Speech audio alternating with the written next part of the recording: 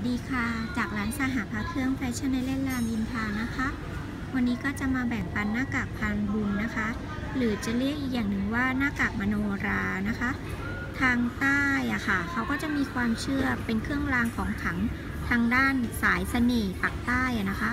เป็นสุดยอดแห่งวิชาเมตตามหานิยมมหาเสน่ห์และด้านโภคทรัพย์นะคะ ซึ่งออของหน้ากากอันนี้นะคะ ก็จะเป็นของหลวงพ่อเขียว วัดห้วยเงาะนะคะ รุ่นเทวดาให้เงิน พร้อมเลี่ยมพลาสติกกันน้ำอย่างดี ถ้าสนใจ ก็ติดต่อหน้าร้านได้เลย เบอร์โทร 0 6 1 5 8 5 8 9 9 9 สวัสดีค่ะ